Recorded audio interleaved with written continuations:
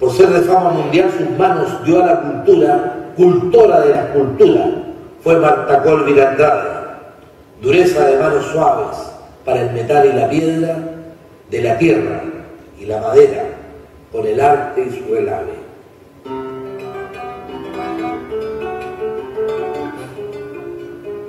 Desentrañas el alma con tu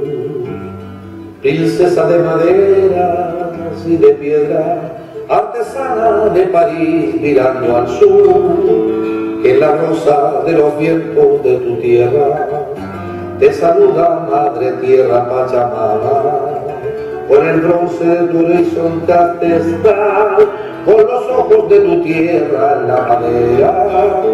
y la piedra de tu bronce germinar. La piedra que se abre, el amor de la tierra y de la madre, piedra y bronce la madera que renace en tus manos, Marta Colvin Andrade. Sus dos manos para moldear la madera, toda el alma para dárselo a la piedra, cultivando los matales que se elevan, la maestra todo el arte te recuerda, no te olvidan todas voces andinas, tomadera de metales en tu alquimia, en Santiago fue sureña, de América Latina, y el paisaje al universo y a la vida.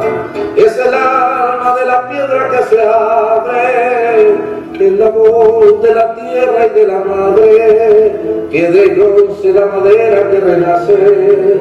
en tus manos, Marta Colvin Andrade. Universo del silencio y la palabra, de la rosa de los vientos y la calma, la paciencia de la tentación primaria, con un grito de los versos de esperanza, movimiento del arte sin palabras,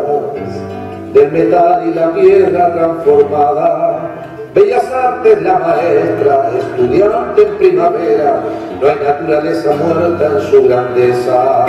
es el alma de la piedra que se abre, el amor de la tierra y de la madre, piedra y bronce la madera que renace en tus manos, Marta Colvin Andrade.